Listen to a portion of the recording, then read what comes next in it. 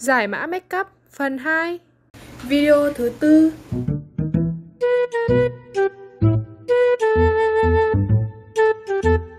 No, no, no, no.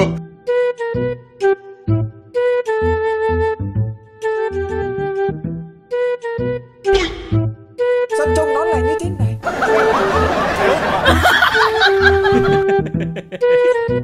Video thứ 5